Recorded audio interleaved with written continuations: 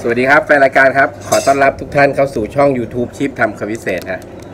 หลังจากทานอาหารเช้าแล้วไปเหลือบเห็นในตู้เย็นร้านพี่เวทนะฮะ เห็นเอช็อกโกแลตอันหนึ่งอันเนี้เขาเรียกว่าอะไรทิวลี่ ถามพี่เวทว่าอันละกี่บาทพี่บอกอันละสองบาท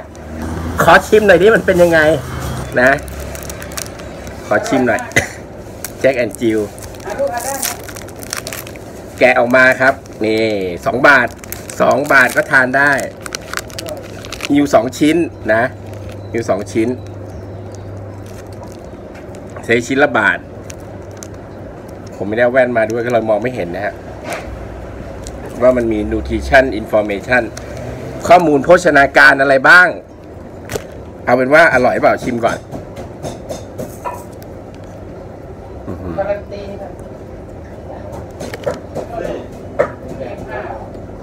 เหมือนปักกิ่งอารมณ์เหมือนในขนมปักกิ่งสมัยก่อน เป็นเวเฟอร์ช็อกโกแลตฮะสองบาท อร่อยเกินราคาอืมนี่งานแหละพี่เวทสองบาทนะฮะซื้อไปทานก่อนว่ายน้เงินแล้วบาทดูดีำแน่ใจนะสองบาทพี่เวท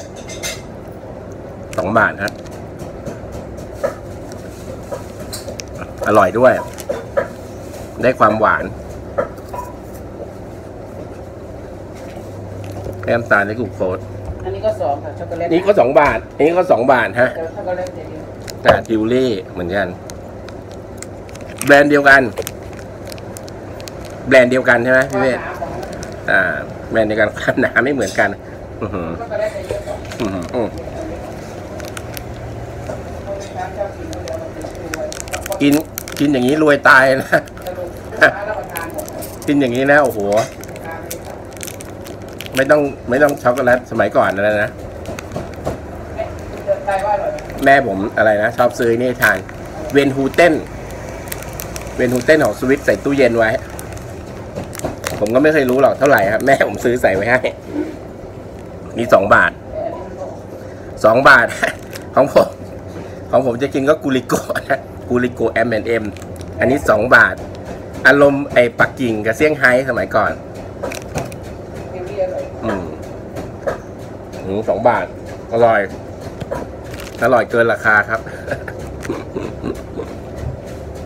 หมดแล้วด้วยหมดแล้วด้วยอืม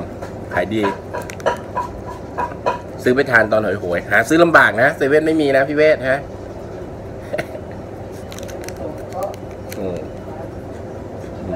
้านเล็กๆโนเนม ต้องต้องหาทานในร้านโนเนมเท่านั้น ต้องหา ต้องหาในร้านตามสั่งโนเนมเท่านั้น ไม่มีชื่อหรอกแต่อร่อย ฮะ โอ้โห เหมือนกับ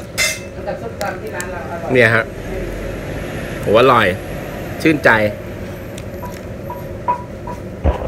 ชื่นใจหลังจากทานอาหารแล้วอืมเอาสองบาท เผื่อเพื่อนๆลองชิมนะฮะ ไม่ได้ค่าโฆษณาแต่ว่ามันอร่อยจริงๆเขาแนะนำอันนี้แบบ twin อันนี้แบบ twin อันนี้แบบช็อกโกแลตเยอะนะฮะสองอันสี่บาทครับสองอันสี่บาท ขอบคุณแฟนรายการที่ตามช่อง YouTube ชิปทำคำพิเศษ สวัสดีครับ